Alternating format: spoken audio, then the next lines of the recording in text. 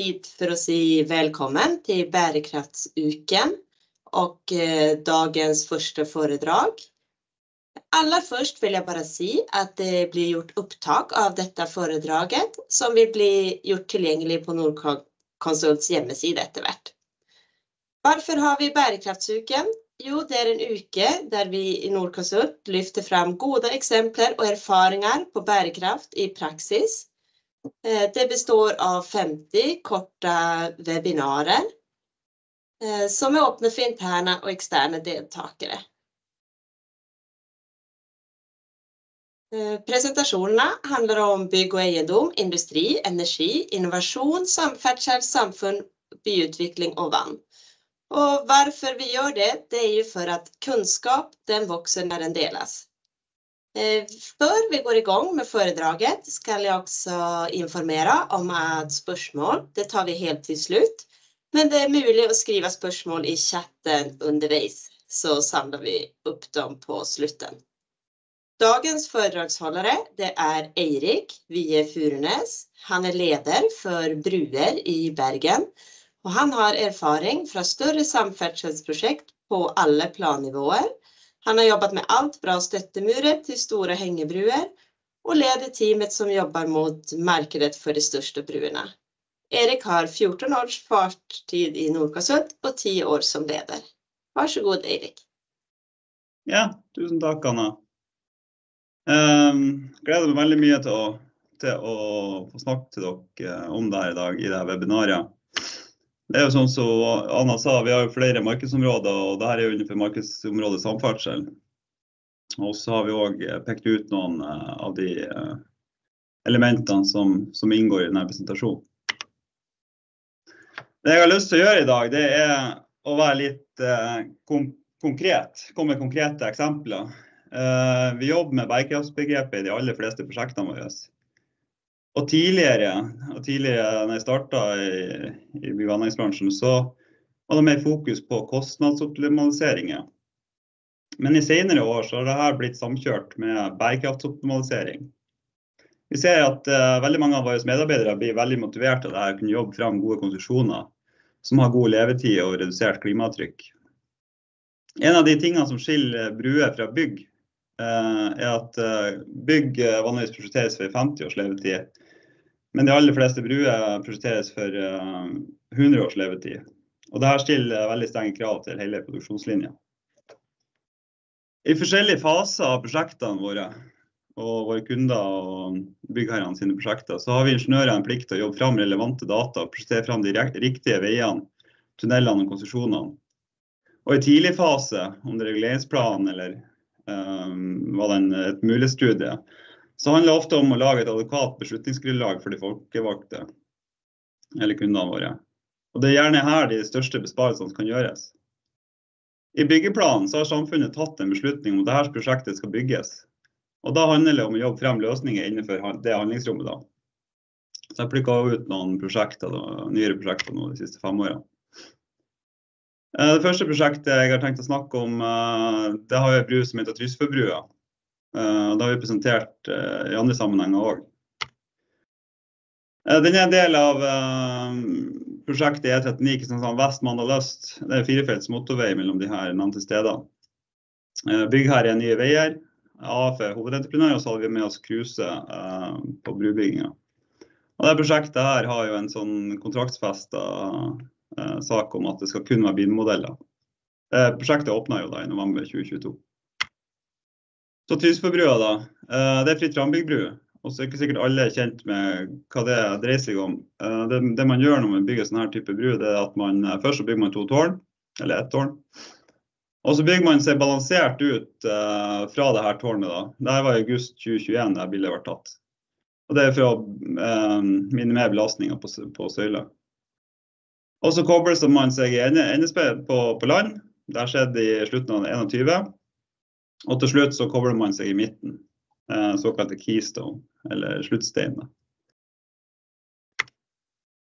Og ei bru har flere faser.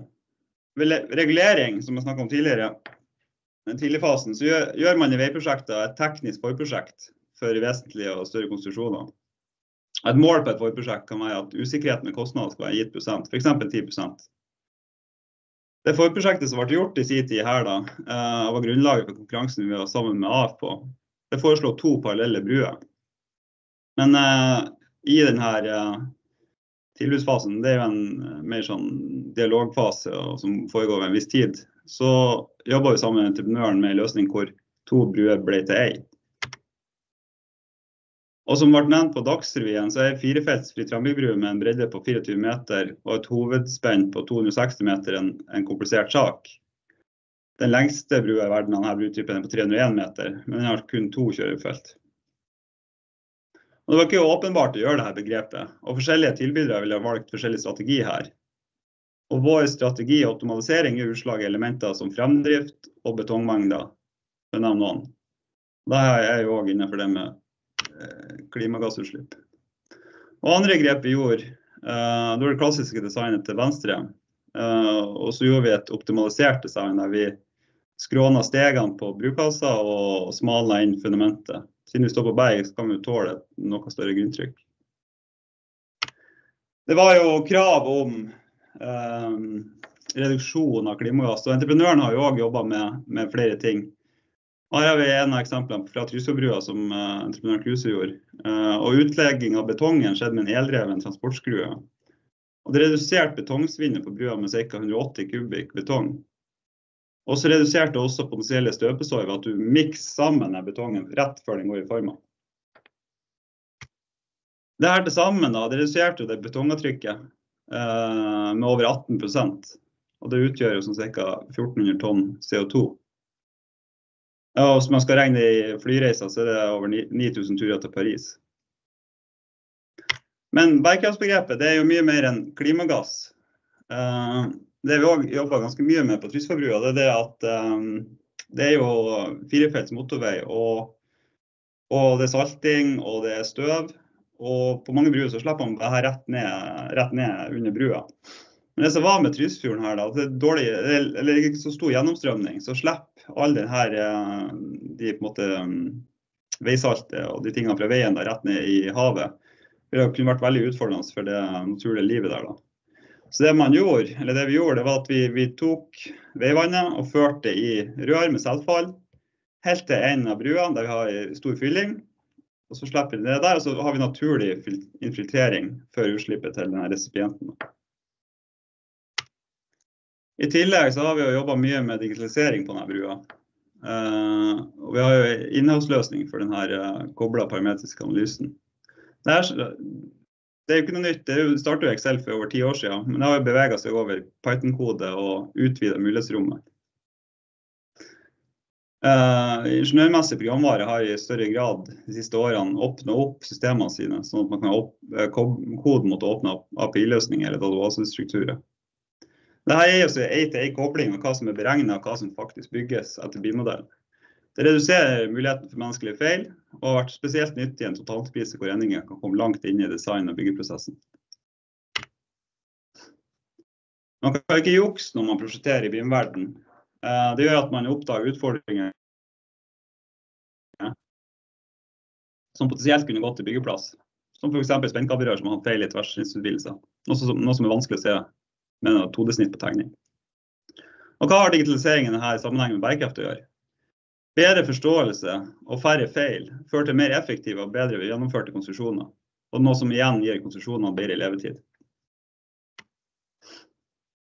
Så vi går videre fra Tysfjordbrua så skal vi se på et annet prosjekt på samme, nei, annen konstruksjon på samme prosjektet.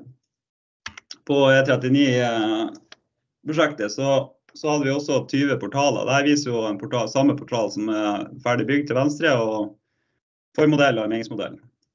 Rundt 20 av de her eh, på dette prosjektet. En annen effekt av digitalisering det er effektivisering og prosjektering. Det som vises på denne grafen her, er de første portalene. Det tok jo veldig lang tid før man skulle etablere systemer.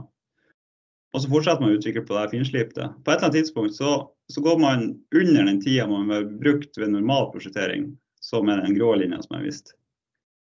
Og I tillegg til denne effektiviseringa har man fordeler med BIM og enkelt forståelige modeller, modeller som gir bedre gjennomføring av konstruksjoner for å sikre denne 100 års levetida. Og så vil jeg selvfølgelig berømme Nye Veier for å sette strenge krav i en kontrakt som driver innovasjon hos oss rådgivere og entreprenører. Og prosjektet vant også AIC Excellence Awards i 2020. Skal vi bevege oss over til et uh, annet prosjekt, um, Halsafjorden i Møre og Romsdal, som vi har jobba på. Den krysninga vi ser på ligger ved Halsaneset, eller fra Halsaneset til Ornes eller Gildneset, litt avhengig av hvilket konsept her. Og så har du uh, dagens E39 som går i ferje her, da, mellom uh, Kanestrøm og Halsa. Ja, det er et forprosjekt. Da er vi også på tidlig fase til teknisk nivå, slik at kostnadsberegninger etter anslagsmetoden oppnås med en tiltenkt nøyaktighet på 25% dette eh, prosjektet her har vi jobba i prosjektgruppa eller arbeidsfellesskap. Uh, hovedpartneren er jo NOKOSUT og Olav Olsen. Og vår prosjektgruppe har jobba sammen siden 2012. Eh, og vært involvert i krysningsstudier for nær alle fjordene på E39. Ikke bestandig sammen, men uh, på mange sammen òg. Uh, og har jo relevant kompetanse innenfor alle brutyper og offshore design. Og så har vi med andre partnere òg, som MIK og IFE. og bukserbæring og Protex. Protex har jo den laserhybridsveisinga blant som er veldig eh, skrevet med.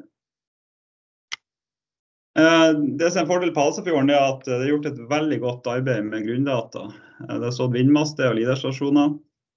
Vegvesenet har hatt bøye i fjorden. Målt strøm, bølger, temperatur. Kjempegodt grunnlag for å gjøre vurderinger.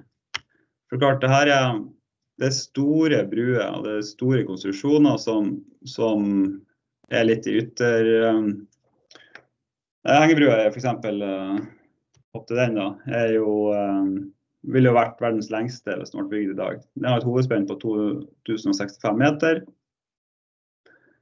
Uh, verdens lengste er jo i dag uh, 2023 meter. Verdens lengste Angebru i dag er Snakkelbrua i Tyrkia. Denne brua er da 42 meter lenge.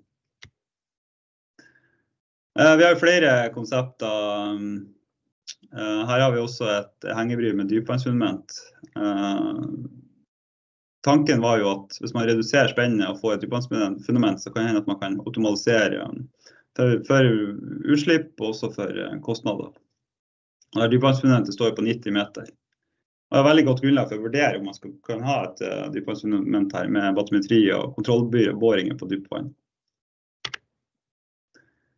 I tillegg så har vi sett på ei flytebru her med en samla brulengde på 2630 meter. og Da er det 1760 meter lang flytebru og ei 870 meter lang skråstagbru med ett tårn for å sikre frie seilløpet for skipstrafikken. Den eh, flytebrua den, det er jo teknologi som man har utvikla spesielt på Bjørnabufjorden. Og vår arbeidsgruppe, eller arbeidsfellesskap har jobba med alle faser av Bjørnafjorden. Og her har vi jo sett i de utredningene jobben vi har gjort der, når vi utvikler de her konseptene, og spesielt flyttebrukonseptet på, på andre eh, fjorder og steder. Det som er med flytebruer, de trenger en viss lengde for de blir materialeffektive og kan konkurrere med andre butyper. Spesielt med historisk gråstakblue enden. Og så skal jeg snakke eh, litt om eh, det med skjæring og det med å tilpasse brua til landskapet, ikke landskapet til brua. Eh, Dette er jo skjæring i Bergen. Av og til så, så, så må man jo har jo utvidelsen av Flesland. Jeg syns jo det man har gjort arkitektonisk er jo litt spennende. da. Men av og til så må man jo stå igjen med sånn skjæring. Um, mens i andre tilfeller så, så, begynner man jo tidlig å jobbe med disse tingene her. Uh, og det er jo også innenfor bærekraftbegrepet. Hvordan lar vi naturen måte stå igjen etter oss? Det man ser på den øvre uh, modellen her, det er at vi går rett inn i skjæringen her og får uh, skjæringer på 40-50-60 meter. Og det bli sånn, kunne bli et veldig sånn skjemma sår i terrenget. Kan vi unngå det her da? Og da må man ta tak i det i en tidlig fase. Det vi gjorde her konkret, det var at vi flytta, vi flytta der vi begynner med hengebrua litt ut i vannet og gikk med en viadukt, sånn at vi kunne starte den radiusen tidligere og unngå den svære skjæringa. I tillegg så jobber man her òg å redusere lengden av, um, av bru på land. Si. Spenn buen. Hvis du drar i, um, hvis du drar i denne buen, så går den opp. Og da går det ned her i endene. Uh, og så er det noe med veikurvatur som henger i hopen her òg. Sånn at Vi har redusert, og, og for så vidt en fri ferdsel for skipstrafikk under. Så har vi redusert viadukten betydelig med å gjøre disse grepene. I tillegg så har vi jobba mye med arkitektur og, og hvordan på en måte, denne konstruksjonen vil bli stående i landskapet. Det er jo konstruksjonen skal stå i lang tid, 100 år. I hvert fall 100 år. Sånn at det er òg en sånn element man må begynne å se på på et tidlig stadium. På denne, uh, på denne uh, strekninga her, eller krysninga, så er det fire konsepter. Vi har jo tre av dem. Et spennshengebru, hengebru på dypvannsfundament og flyttebru med skråstager. Og så har AMC-gruppa i andre gruppa ei TLPS skråstakbru. Uh, vi har regna klimagasser for de konseptene. Uh, nå har jeg ikke verdiene for den, den andre gruppa si. Uh, og det er normalisert her, for det, det her er jo prosesser som pågår ennå. Så, så, det viser ikke totale klimagassen. Da. Men det man ser da, er at Espensengrud kommer litt bedre ut på forventa verdi. Men i forhold til usikkerheten man er på det nivået, her, så er det liten forskjell. Uh, og Det var litt, litt overraskende og, ganske interessant for slike store konstruksjoner som er veldig forskjellige uh, i sin natur. Uh, da skal vi bevege oss videre fra, fra Halsafjorden til Leifjorden. Der har vi Leifjordbrua. Den, er jo en del av, den ligger nord for Bodø i Sørfold. Og den er jo en del av uh, prosjektet E6 Megården-Mørsviksbotn. E6-en her i området har jo dårlig veistandard. Så ser på den bransjen til høyre her, så har man jo omkjøringa. da. Enten så må man langt inn i Sverige, eller så må man ta ferja fra Bodø til Lofoten. Uh, så klart at her er et behov uh, for, å sikre en så viktig vei i nord her. Og det er tre parseller. Den første parsellen er jo eh, annonsert av politikerne og kom eh, i år. Så har vi Rupsine-prosjektet, som vi har jobba mye med på bru og mange andre fag. Leifebrua. Det konseptet som er per i dag eller nå endra fra den institusjonen som er vist her, der tårnene er flyttet opp på fjellet. Uh, vi har jobba med tallprosjektering av begge løsningene. Men jeg skal snakke om nå, det er det med materialet. Vi har nemlig sett på uh, hengebrua i dag Prosjekteres i stål. Men jeg har sett på her um, om man kunne bytte ut uh, brukerkasser til aluminium. Dette studiet her ble gjort i 2021, altså tallene jeg nevner her nå kan jo endre seg litt siden da. Um, men konklusjonene er nok de samme. Leifebrua er jo visst tverrsnitt i stål. Der er jo brukasse, avstigningsbærer som vi kaller det. Og så har vi et uh, aluminiumskonsept uh, til høyre. Aluminium det er jo åpenbart lettere enn stål. Um, og Hovedkonklusjonene er at en lettere avstigningsbærer i aluminium reduserer også dimensjonene på bærekabler, hengestenger, stag, spennarmering ved forankringen. Og kostnadsmessig så er de vurdert ganske like. Og så er den tekniske gjennomførbarheten. Da har vi gått gjennom en del punkter, sånn som aerodynamisk oppførsel, lager, fuge, anleggsgjennomføring, brann, eksplosjon og utmatting. Eh, galvanisk konduksjon, drift og vedlikehold. Drift- og vedlikeholdskostnadene vil jo bli lavere i et aluminiumsalternativ, da man slipper å male brua ca. hvert 30. år. Så det med aluminium i denne sammenhengen, da, eh, med så stor bru I fremstilling av aluminium benyttes det jo mye energi. Hvilken grad energien kommer fra fornybare kilder eller ikke, påvirker materialets klimagassutslipp. Og det er det vi, som er tema for foredraget i dag. Og mye av verdens produksjon av aluminium det skjer i Asia. Kina er den største produsenten, etterfulgt av India. Asiatisk produksjon av aluminium skjer i hovedsak ved bruk av kullkraft, og europeisk med fornybar kraft. Klimagassutslipp er avhengig av produksjonsstedet til aluminium, og som dere kan se på plansjen til høyre, med 4 kg CO2 per kilogram aluminium i Norge og 20 i Kina. Mengden aluminium som det er behov for her på, på Leifebrua er jo stor, og Derfor gjelder sammenligninga nyvunnet aluminium, da det ikke er nok tilgjengelig mengde resirkulerbart i markedet. Og står det jo også nyvunnet i denne sammenhengen, da det kan være utfordringer med kvalitet og sveisbarhet i den sammenhengen. Så det er litt å sammenligne epler og epler. Gitt ei brukkasse aluminium eller stål produsert i Norge slash Norden, og for begge med ambisjon om å begrense klimagassutslipp, kan avstigningsbæreren eller brukassa i stål produseres med noe lavere utslipp enn aluminium. Denne forskjellen er moderat og kan endre seg. Derimot ved europeisk produksjon gir aluminium vesentlig høyere utslipp enn stål. Med produksjon i Asia så økte jo for begge, men spesielt for aluminium. Da. Og ved alle nevnte sammenligninger er tatt hensyn til at avstigningssperre i aluminium redusert mengde stål i kabelsystemet. En annen observasjon som registreres er at produksjon nærmere brustedet, uavhengig av materialet, vil gi redusert utslipp. Utforming av hengebruer er tuftet på erfaringer. Det er ikke bygget noen store hengebruer i aluminium, og risikoen ved slikt alternativ er derfor større. Samtidig er jo aluminium et konstruksjonsmateriale som er anerkjent og velutprøvd i samfunnsviktige konstruksjoner. Og det bringer oss litt til neste slide. Um, som sa hengebruer er jo veldig store og liksom, mye risiko. Risikoen er derimot mindre, og potensielt volum er jo større på mindre bruer. Sunndal i Nordmøre der en bru er bygd, man har erstatta sement med leire og stålarmering med aluminium. Det er jo spennende utforskning. Og vi i Nordkonsult og Nordic er veldig for å utvikle materialer gjennom prosjekter og benytte rett materiale for rett konstruksjon. Så beveger vi videre fra Leifebrua til et prosjekt jeg har gleda meg skikkelig til å prate om i dag. Eh, Tangevika jernbanebru.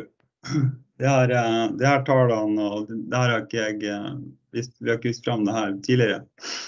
Tangevika jernbanebru er jo en bru mange av mine kollegaer sitter og jobber med akkurat nå. og Det er Norges lengste jernbanebru. Den er under oppføring. Eh, det er dobbeltspor til Hamar og krysser over bukt i Mjøsa, Stange kommune.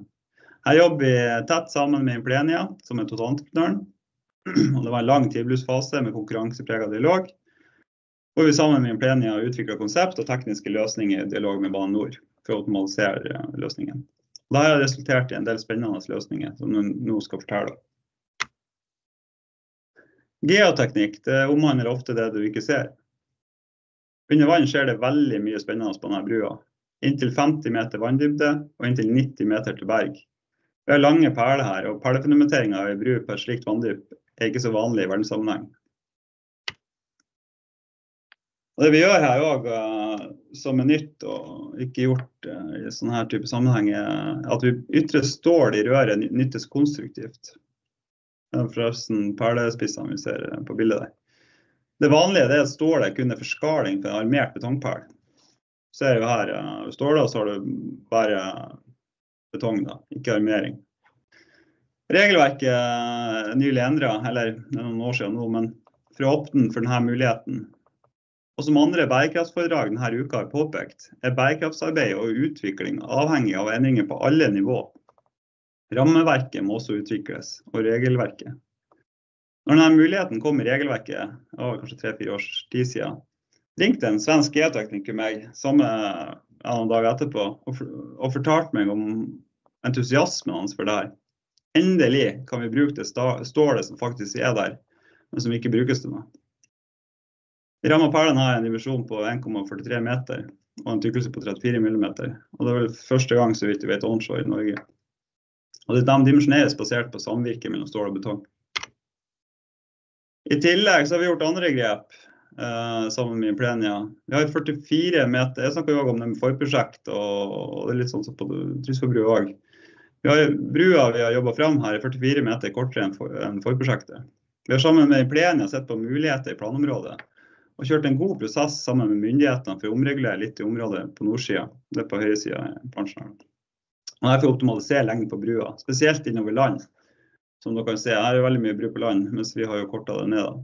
Ca. 30 meter inntil den her. Da. Og det med å omregulere det kan være en tidkrevende prosess med tilført risiko. Eh, men her har man faktisk tatt seg tida til å jobbe eh, fram en bedre løsning. I tillegg har vi jobba fram en løsning med 70 meter spenn. Vi ser på forprosjektet eh, satt 50 meter spenn, men her har vi jobba opp til 70 i stedet for de 50. Og med denne dypene er det en utfordrende regneoppgave som våre ingeniører har jobba målretta med. Dette reduserer jo åpenbart antall perlefundamenter i sjø. Og Ny inndeling av spenn har også gjort at du kan redusere noe lengde på venstre side her. For at vi får en bedre avslutning av det siste spennet, i forhold til, spesielt i forhold til oppløsproblematikk som man har på en på prosjektbru. Da har vi kutta inn 14 meter. Så de her grepene, da. Eh, kun minimumsarmeringa i perlene er anslått til 850 tonn stål. Da har vi 500 tonn CO2. Et kortere bruk hvor man tatt i, tak i reguleringsplanen og optimalisert den her videre. Leng, lengre spenn, og evnen til å presse grensen og de, se de store besparelsene ved regn hjem de her spennene. Og prøveperling av forbruk to perler, men samtidig, samtidig redusert antallet med ti. I tillegg er det spart betong i de her perlene. Totalt er det vel spart over to km perle. Det er jo totalt 9000, nesten 10 000 tonn CO2. Det er veldig mye. Og det er jo i våre oppdrag at vi kan gjøre en forskjell. En store forskjell.